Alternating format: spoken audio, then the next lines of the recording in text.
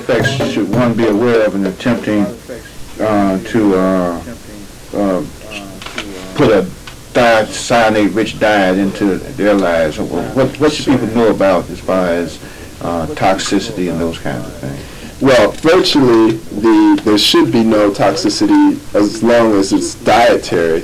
Um, the limiting factors, of course, would be the volume of food one could eat. Um, when you talk about cyanate in general, um, we're look if you take it in a very, very concentrated form in enough an amount, it becomes what we call metabolic poison.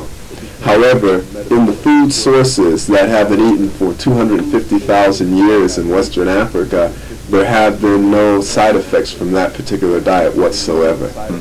And um, in fact, uh, Dr.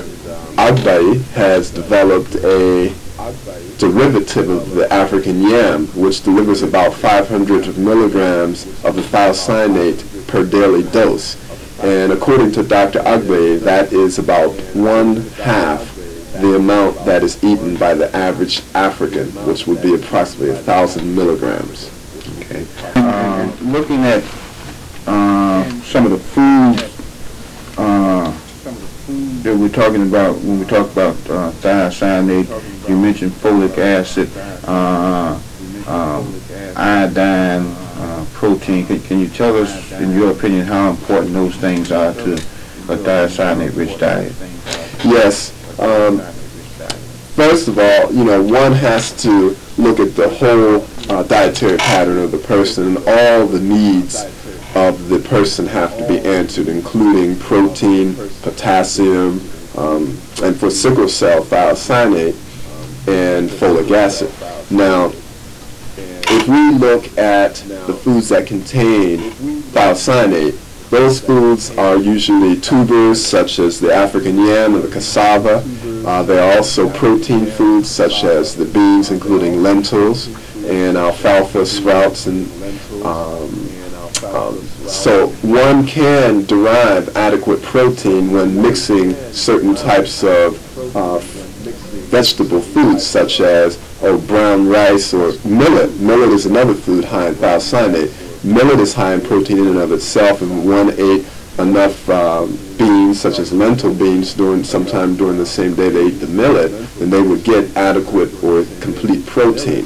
Um, in African dishes, meats are used um, to a, a more moderate extent than they are used in the American dietary system. Um, in the African diet, the, the basis of that diet, as it is in most indigenous people's diets, is the whole grain, such as the African yam. Um, so one can get quite adequate protein um, and potassium and all the nutrients by eating a high thiocyanate diet. Now, you mentioned iodine. It has been found that thiocyanate uh, should be taken in a diet that is rich in iodine as well what other medical problems may be relieved uh, by a thiocyanate-rich diet? Well, the diet, the foods that contain thiocyanate are very advantageous to consume because of their high fiber content and their gracious um, nutritional um, enrichment. Um, these foods again include the African yam, the cassava, the apricots, buckwheat, millet, um, alfalfa, greens, uh, many foods of which the African American population already eats. Um, the other diseases that may be uh, affected by this diet include cancer. Uh, no research that I know of has directly proved that, but when you look at the lower rates of cancer, I mean, uh, you're talking about a 400% lower rate of cancer in, Af in the same African society versus the African American society, um, one must pay attention to that. Also, if the foods are not overly salted, high blood pressure would definitely be um, beneficially affected because of the high fiber content, the high calcium, as well as the high potassium content. In fact, has been said that African yam is anti-sickling, anti-cancer, and also has a pro-ovulatory um, effect. Okay. All right. Besides uh, cyanide treatment, what other lifestyle factors should uh, be uh, considered in order for a patient to get his sickle cell under control? One very important factor is positive attitude. Of course, everything isn't always in the mind, but it is important to have a positive, forthright attitude about it. Um, to eliminate as much as much uh, procrastination and inertia as possible, to have adequate amounts of hydration. It is important to keep the blood thin with um, drinking enough water. Um, to keep proper bowel habits up. A lot of the medicines that are used for sickle cell cause constipation, so one must include enough dietary fiber. Also, one must stay away from sugar because it is indeed a poison and it also sucks the fluid from the body. Stay away from over abundance of salt and stay away from alcohol because it also dehydrates the body as well.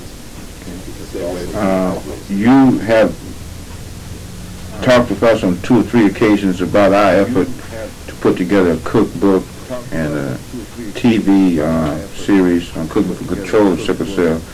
Uh, how helpful do you see this effort that I'm doing, and uh, what would you suggest, uh, recommend as far as improving what we've been doing so far?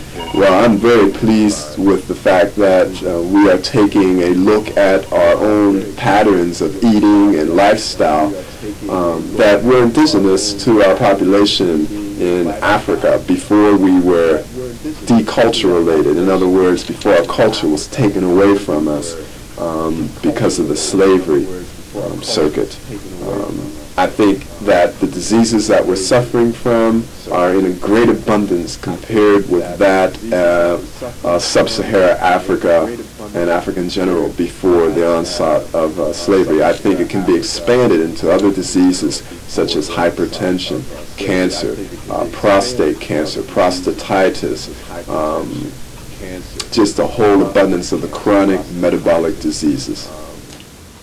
Uh, any closing remarks uh, you would have as far as uh, treating uh, your patients, uh, people who uh, have family members with sickle cell? What, what would you want them to know about how to handle that and how to manage it and where to go find help and those kinds of things?